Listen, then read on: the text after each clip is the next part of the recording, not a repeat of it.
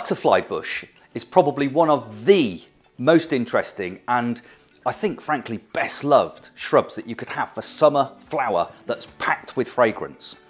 The trouble is, historically, Buddleias just got to be too big. They were beasts. They would grow so tall, maybe three, even four meters tall. And all of the flowers, all of the interesting stuff's way up there in the sky on the ends of the branches. What the plant breeders have done with this brand new series of butterfly bush is they've taken away that height and that vigour and they've created super compact but massively flowery, beautifully scented plants. And we've got three different colours in the Butterfly Candy series.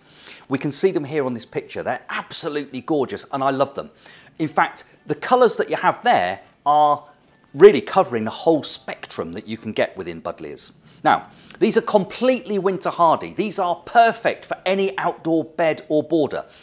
I would plant them in a sunny position only for one reason, which is that the butterflies will flock to these, particularly when it's sunny and the pollen and the nectar are at their absolute best. So if you really want to make the most of these, get them planted towards the middle of a sunny border if they're in the garden, but you could even grow these in pots on your patio.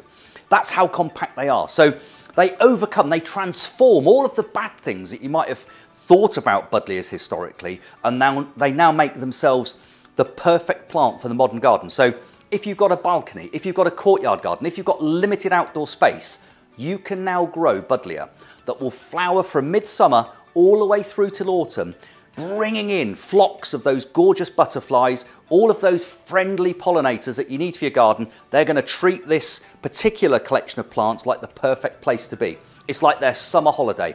So they're easy to grow, they're winter hardy, they're fragrant, they flower. You've got three different colours, they flower for a long period of time, but once you've got these planted in your garden, you've got them for years to come in their beautiful compact form. So, Buddleia, the Butterfly Candy Series, the Buddleia to grow this year.